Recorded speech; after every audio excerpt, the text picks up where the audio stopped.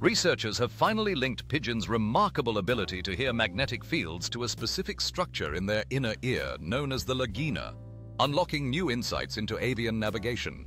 This discovery opens up a fascinating window into how these birds interact with their surroundings and navigate over vast distances. Understanding this mechanism could revolutionize our comprehension of animal behavior and migration patterns, revealing the hidden abilities of these extraordinary birds. As scientists continue to explore these connections, the potential applications for technology and navigation systems inspired by avian capabilities are becoming increasingly intriguing.